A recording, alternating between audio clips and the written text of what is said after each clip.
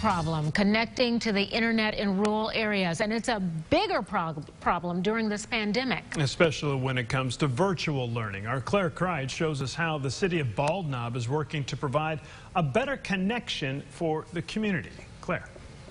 Yeah, that's right. Online learning relies on strong internet, but outside the city limits of Bald Knob, the connection just drops. I spoke to a family about their struggles with the service and how the city is trying to fix it. I was unaware of just how bad it was. Before COVID 19, Megan Glaze thought her internet connection wasn't a problem. But when she suddenly found herself teaching from home, It's been difficult. now add two more computers trying to make that connection. When you're in the middle of video, it'll stop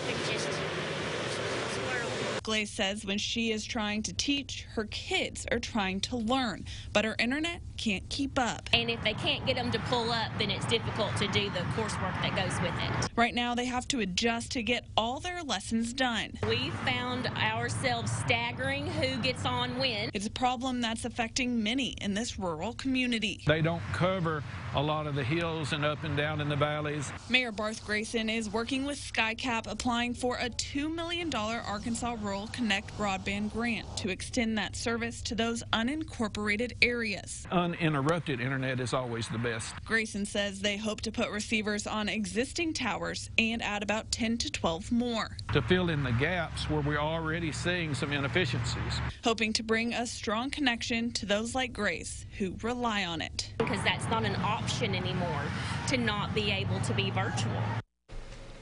Grayson says they will need folks to lease or sell land to build the towers. If you are interested, you can call the Bald Knob City Hall. Back to you. All right, Claire.